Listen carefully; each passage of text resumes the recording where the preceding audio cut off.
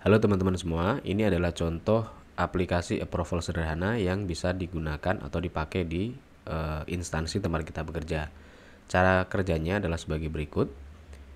Di sini ada ID pegawai, jadi untuk ID pegawai harus terlebih dahulu terdaftar di tempat kita bekerja ya. Misalnya kita masukkan ID yang asal, begini nanti akan muncul keterangan ID pegawai tidak terdaftar. Kalau ID-nya benar, misalnya seperti ini, nanti akan muncul uh, nama pegawainya dan keperluannya apa. Jadi untuk contoh sederhana ini keperluannya hanya satu untuk pengajuan barang. Kalau misalnya diklik, nanti nama barang yang kita ajukan uh, bisa kita isi di bagian new. Nah, seperti ini ya. Misalnya nama barangnya adalah nah, mesin jahit misalnya, harganya misalnya 5000 ringgit. Berapa yang dibutuhkan? Misalnya ada tiga nanti jumlahnya total akan muncul di bagian e, sini ya di bagian total. Untuk nama barang kita bisa mengcustomnya sendiri ya. Kalau ini masih manual jadi masih ditulis sesuai dengan kebutuhan. Nah jadi untuk pengembangannya nama barang nanti bisa kita list di bagian spreadsheet kita. Nah, kita tambahkan e, sheet baru yang berisi nama barang dan juga harga. Nah kemudian kalau misalnya sudah pilih save nanti akan muncul nama barang yang eh, kita ajukan beserta dengan total harga yang kita ajukan juga. misalnya kita tambahkan lagi kalau tadi mesin jahit, sekarang eh, pompa misalnya pompa air harganya 10.000 ya kualitinya misalnya beli dua di sini akan otomatis muncul 20.000 nah di sini total harga akan menghitung dari jumlah total nama barang yang kita ajukan. Nah, kalau sudah, nanti tinggal kita save. Nah, seperti ini. Kemudian ini masuk ke slice pegawai ya. Jadi yang bisa melihat nanti hanya pegawai yang mengajukan saja. Ini contohnya dan nanti datanya akan masuk di bagian uh, approval ya, di bagian sheet approval. Nah, kemudian di sini ada keperluan pengajuan dan sampai nama pegawai tadi ya dengan harga sekian. Nah, untuk manajer atau misalnya kepala perusahaan nanti akan muncul data seperti ini. Jadi hampir sama. Kalau kita klik nah nanti akan muncul data yang akan kita setujui atau yang akan disetujui oleh manajer. Kalau di bagian slice ini tidak akan muncul. Jadi hanya tulisan e, biasa saja atau pengajuan. Nah, kalau di bagian approval manager bisa diklik. Nanti kalau misalnya sedang proses, tinggal uh, diklik proses. Nah, masih proses ya. Kemudian di bagian slice pegawai juga akan muncul nih proses. Apakah nanti akan disetujui atau tidak? Kalau misalnya nanti disetujui atau ditolak, misalnya disetujui ya, nah akan muncul profile seperti ini, ya, dan akan muncul kolom manager.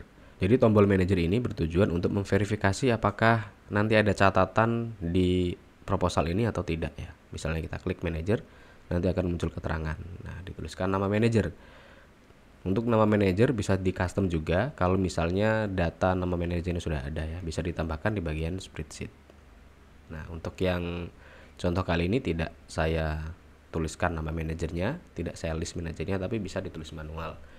Misalnya nama jenis handy catatannya nah, approve karena sudah di approve bisa ditulis bebas ya sesuai dengan catatan yang diberikan oleh manajer. Misalnya sesuai anggaran.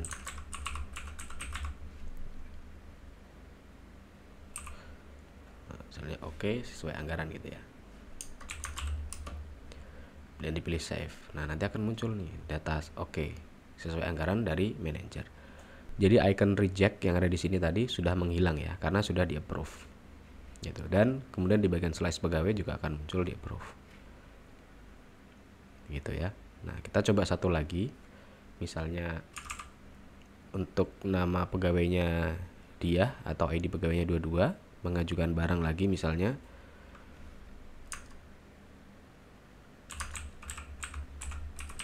misalnya komputer dengan harga 3000 misalnya beli 4 gitu ya nah, kemudian menganggarkan lagi monitor dengan harga 1000 begini kualitinya misalnya 5 Oke, kemudian disimpan. Nah, nanti akan pegawainya akan melihat nih datanya belum diapa-apakan ya, statusnya masih kosong. Kemudian tugas manajernya memverifikasi. Tinggal diklik, nah, diproses. Ya, jadi kalau diklik proses nanti akan muncul dua pilihan, approve atau reject. Kemudian misalnya di reject, nah, nanti akan muncul data seperti ini dan manajer bisa mengisinya lagi. Sorry.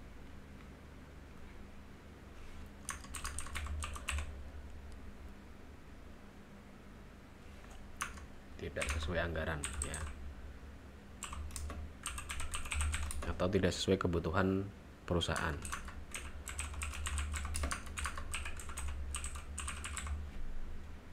tinggal disimpan nah jadi seperti ini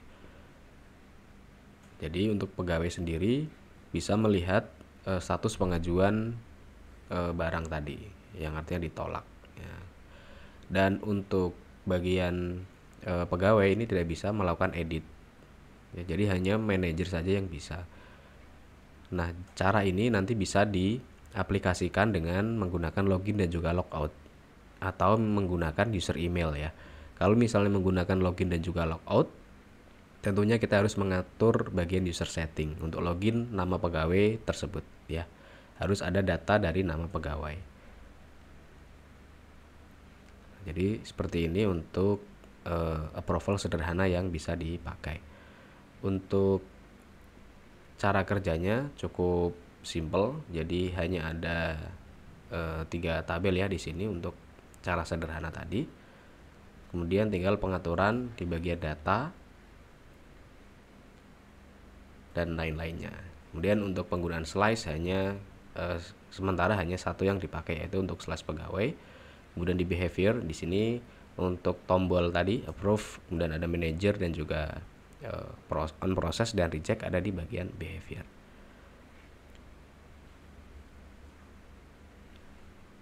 Oke ya begitu. Oke untuk selengkapnya kita akan bahas di tutorial berikutnya ya. Jangan lupa teman-teman silahkan like dan juga komentar jika Anda menyukai video ini. Sampai jumpa di tutorial berikutnya